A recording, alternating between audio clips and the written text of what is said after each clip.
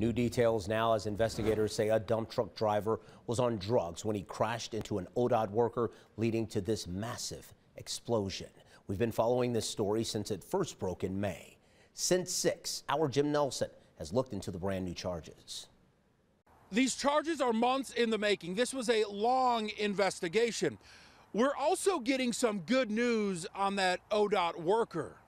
Stunning, scary. A dump truck slamming into a stopped ODOT truck with the worker inside. That giant fireball erupting over I 77 in the city of Green. This was one of the most horrific accidents involving an ODOT employee that I've ever seen in my life. ODOT District 4 Deputy Director Jerry Nero says 162 ODOT workers have been killed on the highways over the years. This could have been 163.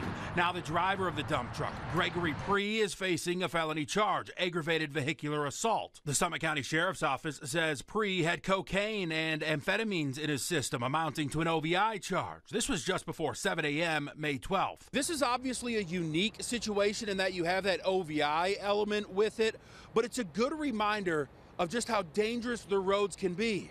Just ask any of these truckers. Some idiots they just fly even if they can go they don't they just go and they go like this close from you boom dangerous it is. That's why ODOT stresses this so much. Slow down, move over. It's the law. More than 100 ODOT vehicles have already been hit this year. No court dates for Pree just yet. He, along with the ODOT employee, was injured in the crash. But as bad as this could have been, there is good news on that highway worker. He is still not 100%, but he is healing.